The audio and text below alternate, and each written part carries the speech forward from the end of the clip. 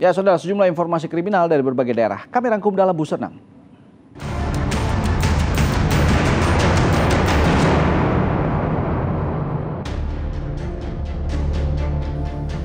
Bocah perempuan berusia 9 tahun yang masih duduk di kelas 3 sekolah dasar menjadi korban pelecehan pengemudi ojek online di Jalan Tanah Merah Maruga, Kecamatan Ciputat, Tangerang Selatan, Selasa siang.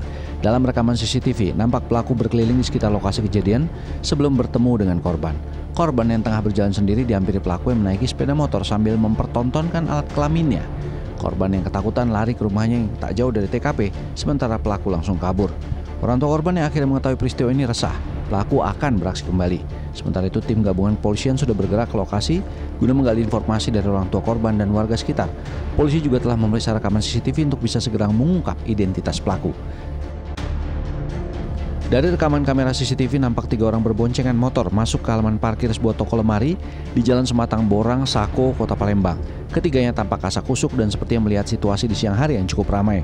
Tak lama pria yang duduk di boncengan turun dengan cepat mengerjai lubang uji motor dan membawa kabur motor itu bersama kedua rekannya. Komplotan ini memanfaatkan kelengahan pemilik motor yang tengah tertidur pulas di dalam toko dan tidak menggunakan kunci tambahan saat motor terparkir. Peristiwa pencurian sepeda motor ini merupakan kali kedua yang terjadi di kawasan ini. Korban telah melaporkan pencurian ini ke aparat kepolisian. Tidak terima orang tuanya rujuk kembali, dua orang anak nekat menganiaya ayah kandungnya hingga tewas.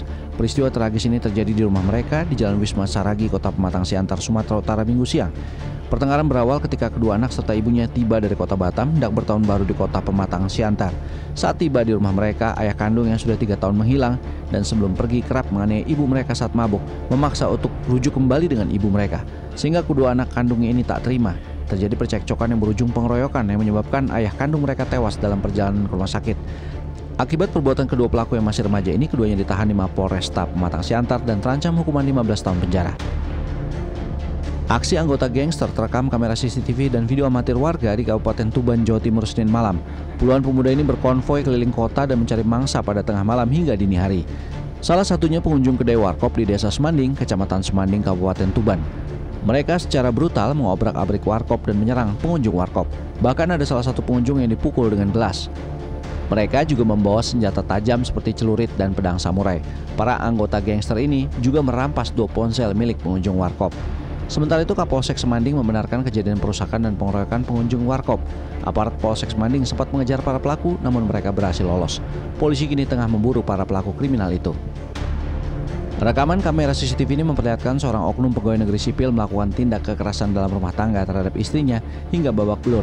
Ironisnya aksi itu dilakukan di depan ketiga anaknya yang masih di bawah umur. Videonya bahkan viral di media sosial. Korban YA mendatangi unit PPA Polres Metro Bekasi Kota untuk meminta kejelasan kasus KDRT yang sudah pernah dilaporkannya beberapa bulan lalu. Korban minta polisi memeriksa dan menahan suaminya AF yang sering menganiayanya. Sempat rujuk dengan sang suami dan mencabut laporannya di polisi, namun suaminya AF yang juga seorang ASN kembali melakukan KDRT, bahkan korban sempat diancam akan dibunuh.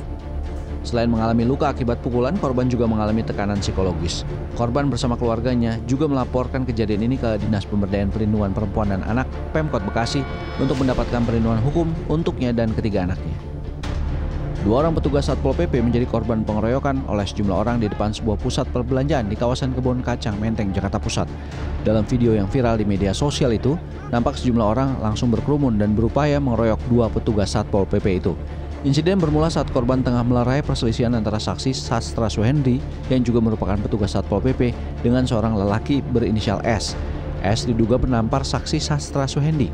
Berniat menanyakan hal apa yang membuat S menamparkannya, emosi S justru meningkat.